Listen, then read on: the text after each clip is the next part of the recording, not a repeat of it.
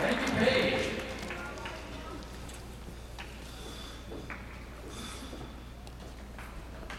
next number is something a bit different.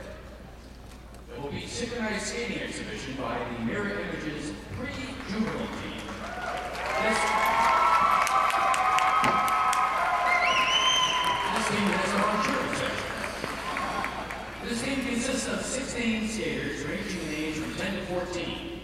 His team placed fifth at a competition in Cape Cod and brought home the gold medal from the skinny athletes competition earlier this month.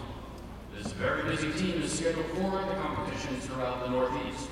Skating to all-time rock and roll, here are the Mirror Images.